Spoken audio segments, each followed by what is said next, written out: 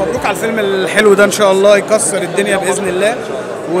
ويعمل إيرادات محدش يتوقعها بإذن الله. العرض عجبني جدا جدا مسرحية صباحية مباركة عجبتني جدا جدا جدا وعايز أقول لك إن أنا طول مدة العرض بضحك حرفيا مش عشان أصحابي والله لا بس العرض فعلا كوميدي بطريقة عظيمة فعلا يعني أنا اتبسطت واستمتعت جدا. لأن أنا بقالي فتره ما بتفرجش على مسرح لأن أنا ببقى فوق دايما.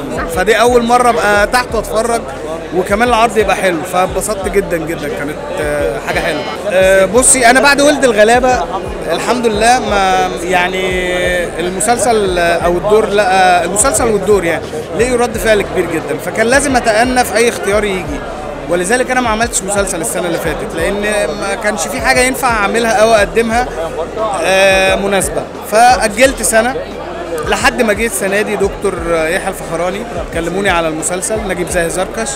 فلا يعني عمل بطولة دكتور يحيى الفخراني اخراج أستاذ شادي الفخراني تأليف أستاذ عبد الرحيم كمال آه، إنتاج سينرجي. فعمل فيه كل العناصر اللي تخلي أي حد اللي تخلي أي حد يعمل كده. يعني من غير تفكير كمان. غالبا كل المشاهد هتجمعني بدكتور يحيى أو في الغالب هيبقى المشاهد كلها بتجمعني بدكتور يحيى.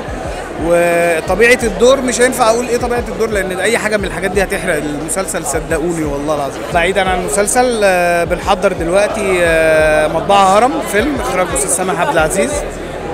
آه هنبدأ تصوير إن شاء الله أول 11 الفيلم كوميدي آه مش حارة مش لا آه فيلم كوميدي و... و... وحلو. يعني إن شاء الله يعني ربنا يكرم يعجب الناس